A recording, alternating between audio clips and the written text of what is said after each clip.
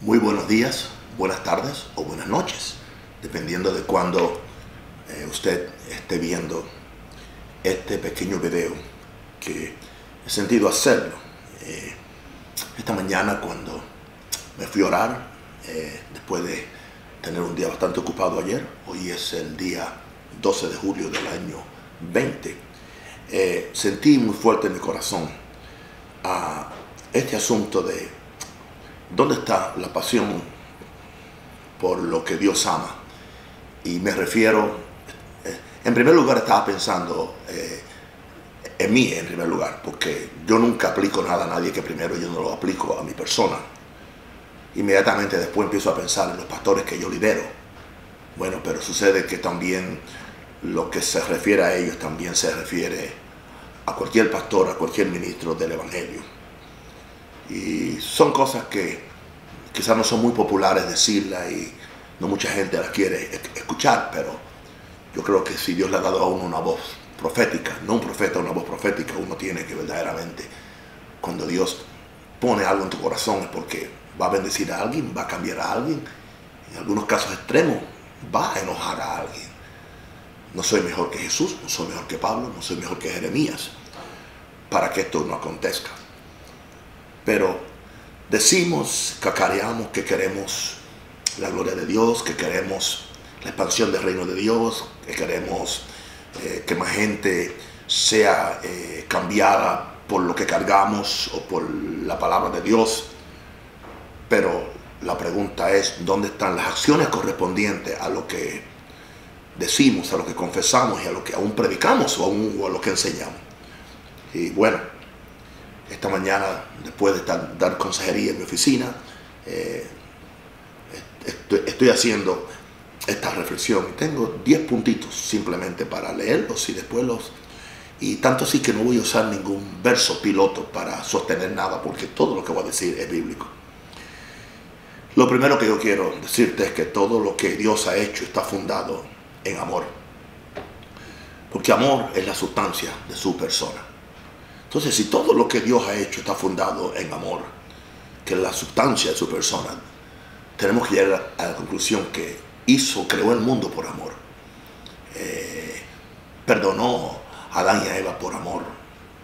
Sacó a Satanás del cielo por amor, a que no le siguiera dañando su reino. Envió a Jesucristo a la tierra por amor. El Espíritu Santo aún hoy sigue siendo enviado por amor.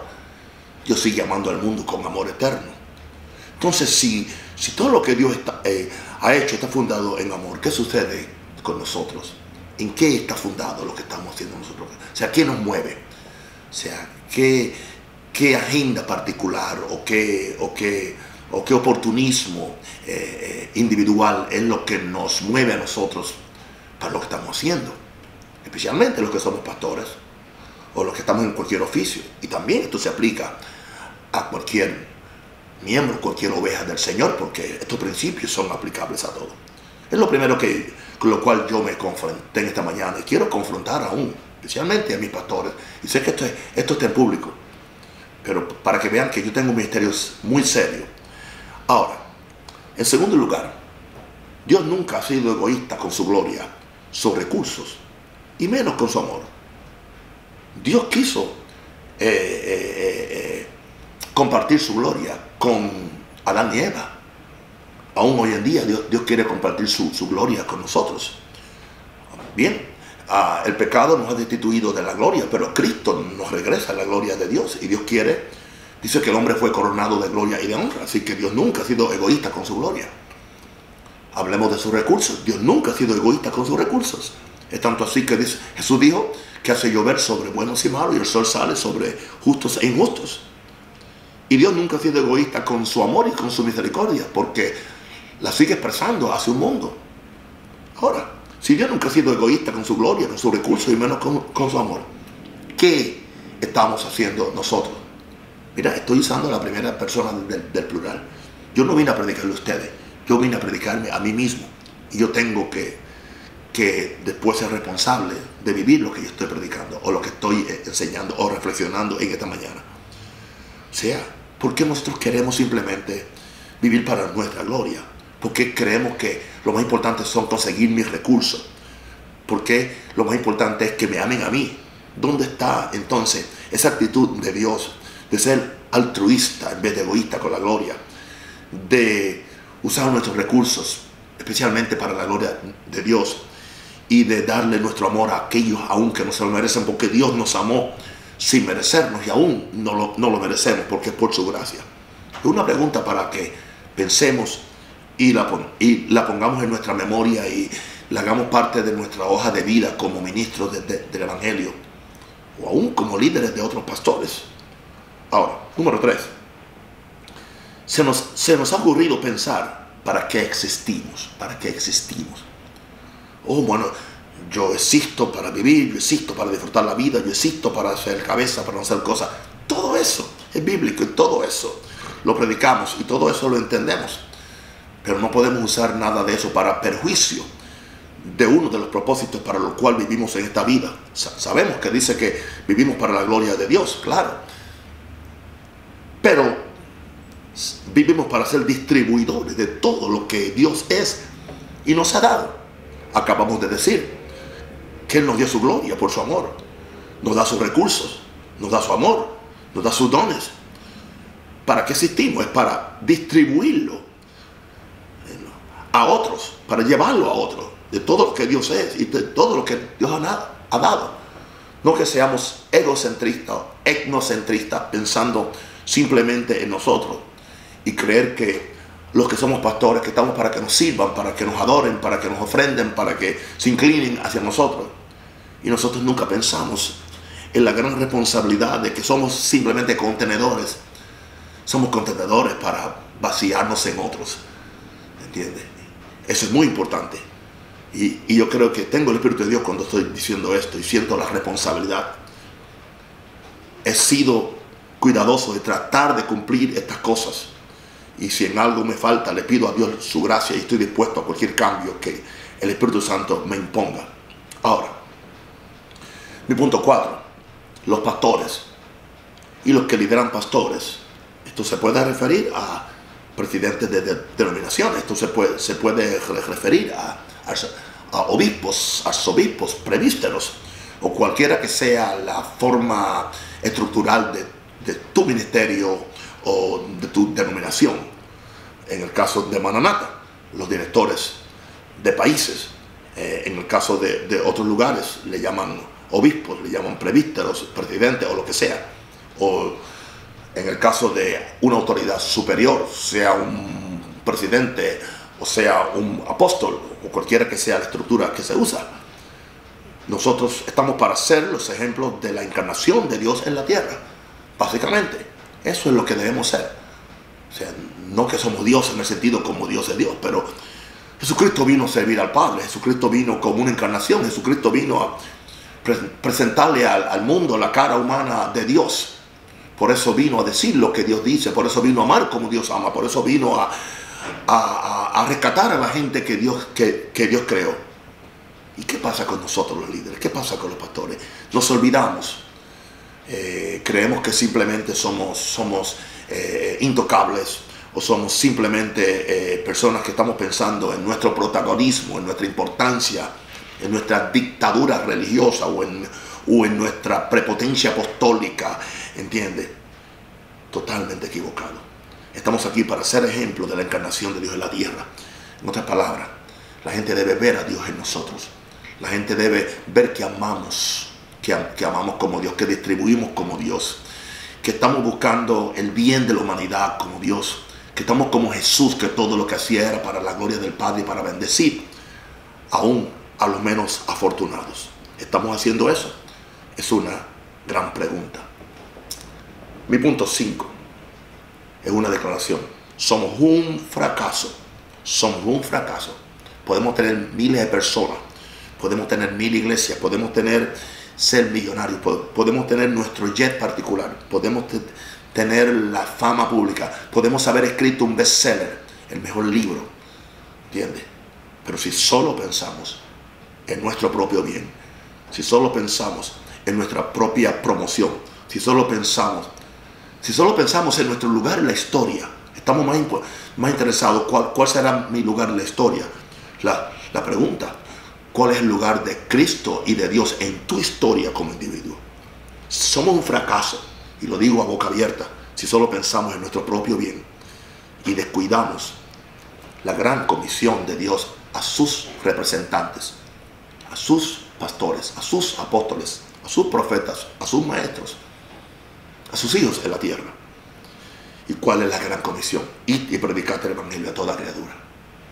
Vivimos para eso, soñamos con eso, o simplemente empezamos a, edificar algo y eventualmente se convierte en una super torre de Babel, en una gran Babilonia, donde simplemente tenemos la misma actitud de Nabucodonosor, caminando por los jardines de la gran Babilonia. No es esta la gran Babilonia en la cual yo edifiqué. El gran, el gran peligro de eso es que eventualmente todas las Babilonias se van a caer. Todos los imperios que no tienen como base la gloria de Dios, que no tienen como base la glorificación de Jesús, que no tienen como base la bendición del mundo, van a caer, van a caer de cara, van a caer de bruces. Y simplemente lo que van a ver son escombros, como los escombros que hay hoy sobre la Babilonia histórica, la cual nadie ha podido reedificarla. Hoy es guarida de, de aves silvestres y, y de animales. ¿Por qué? Porque se le olvidó el propósito. Dios nos guarde. Qué interesante. Podemos ser, como he dicho, un éxito público, pero somos un fracaso en privado. Y tú, tú sabes tu vida, tú sabes cómo tú vives, tú sabes lo que tú estás haciendo. Y posiblemente que todo el mundo crea por las redes o por los medios sociales, los, cuales los podemos maquillar para vernos bien. Pero adentro eres un fracaso. Cuando te acuestas, cuando pones esa, esa, esa, tu cabeza en la almohada en esa noche, ¿qué hiciste para Dios? ¿Cuál fue tu prioridad? Y no solamente eso, cuando tengas que darle la, darle la cara a Jesús en ese día, donde tenemos que darle cuenta de todos los secretos del, del corazón, ¿serás un fracaso o serás un éxito? Señor nos guarde. Ahora, número 6, tengo una pregunta. ¿Por qué no, no, nos reproducimos y nos multiplicamos más? Y estoy hablando especialmente al ministerio que yo lidero en el mundo entero. ¿Por qué no nos reproducimos y no nos multiplicamos? ¿Sabe por qué me dijo el Señor esta mañana? Porque no nos sembramos. Oh, quizás estamos dispuestos a sembrar un 10%. Quizás estamos dispuestos a sembrar una ofrenda especial en un momento de una emoción o de una dirección especial del Espíritu Santo. Pero una pregunta. ¿Vives sembrado totalmente en lo que estás haciendo? Ah, cuando alguien vive sembrado, no busca ser visto. Cuando uno, alguien vive sembrado, no busca ser aplaudido. Cuando alguien vive sembrado, no ministra para que lo vean. No es influido por los likes o los dislikes de su, de su, de su, de su YouTube. No le importa cuánta cantidad tenga o no tenga de suscriptores en Instagram, en, en, en Facebook o en Twitter, porque no vive para eso. Eso solamente puede ser una consecuencia de que Dios quiere expandir la palabra que tú llevas, pero no se trata de ti. Recuerda, se trata de Jesús. ¿Por qué no nos reproducimos? ¿Por qué nos multiplicamos? Y aquí yo le hablo a los líderes, aún en los, países. ¿Por qué razón? Aún siguen con el mismo puñito de iglesias. Y, con la, y claro que no, porque nos hemos enfatizado en nuestra propia iglesia y nuestra visión principal es lo que voy a decir más tarde y no es sembrarnos. ¿Estamos dispuestos a sembrarnos? Bueno, yo quiero decirte algo. Jesús vino del cielo y estuvo dispuesto a sembrarse. Primero se sembró en el vientre de una mujer, desapareció de la escena por nueve meses en el vientre de una mujer. Después se sembró trabajando para sus padres por 30 años en el anonimato. Y aun cuando Dios lo saca a la exposición pública, fue se sembró 40 días y 40 noches en el, en el ayuno buscando a Dios. Y después se sembró en 12 hombres que no eran fáciles bregar con ellos como discípulos. Vivió sembrado en las multitudes vivió sembrado en la problemática del ser humano. No hubo un área de la problemática del ser humano que Jesús no tocó, con la cual él no, él no tuvo contacto y trató siempre de resolverlo para la gloria de, de Dios y para la beneficencia de estos seres humanos. Que Dios los sigue amando a pesar de lo que sean y lo que hagan. ¿Por qué no nos sembramos?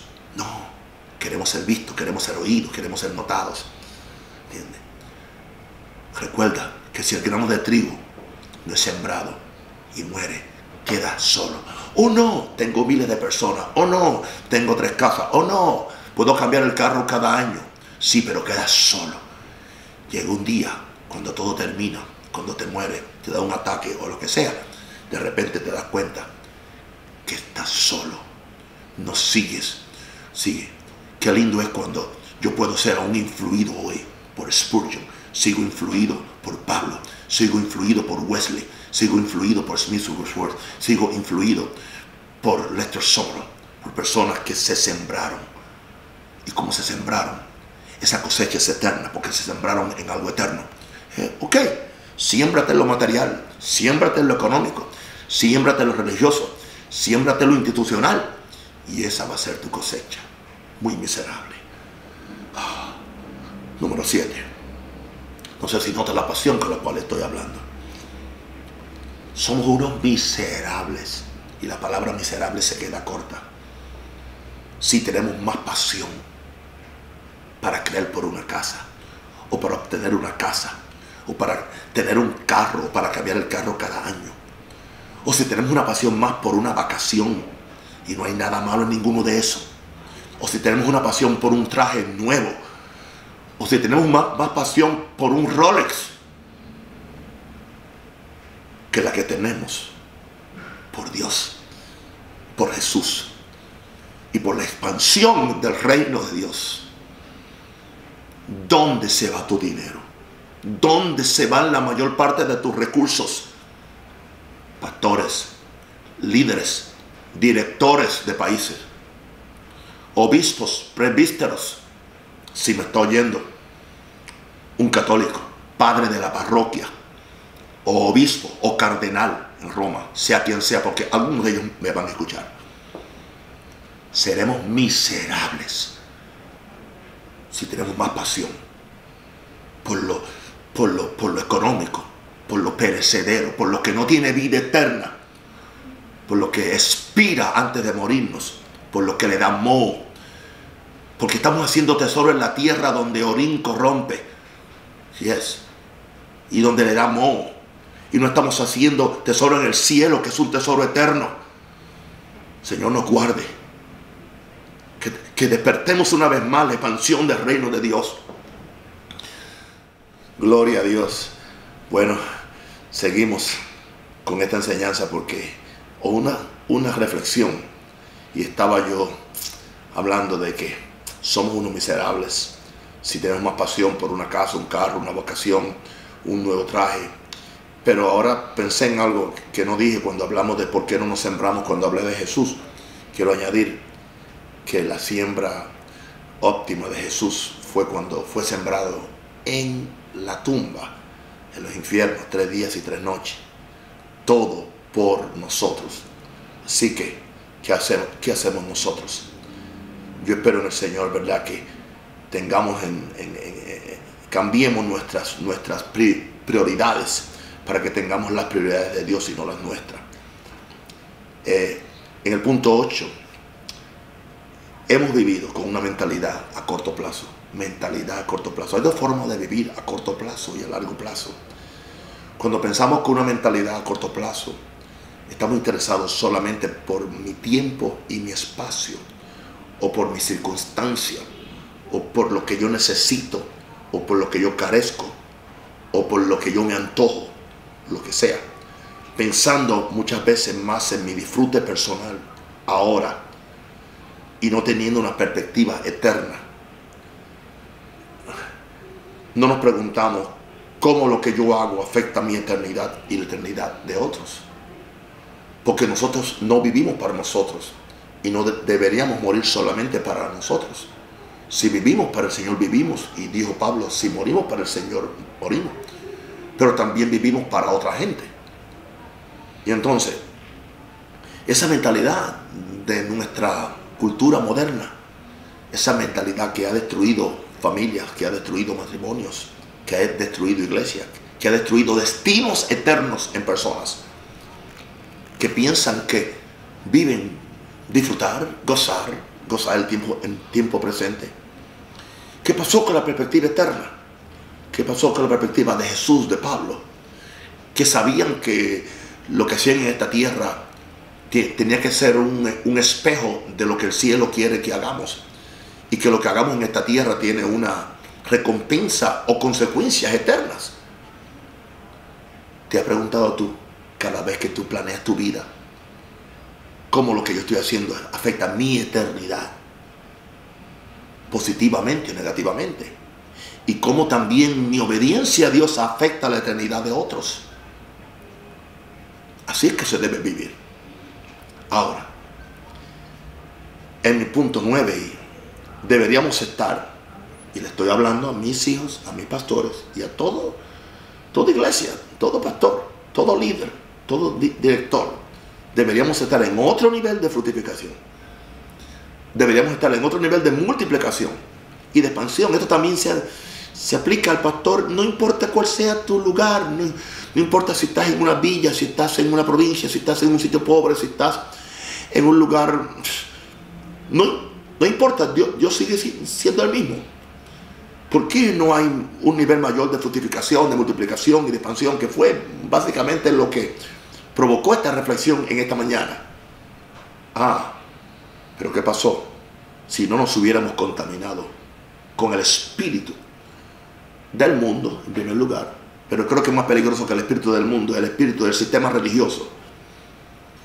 Especialmente los que somos parte de este ministerio Maranata, hemos sido muy buenos denunciándolo, denunciando el espíritu del mundo, denunciando el espíritu religioso, denunciando el amor al dinero, denunciando eh, eh, la forma incorrecta de manejarlo, la forma incorrecta de recogerlo, la forma incorrecta de tratarlo.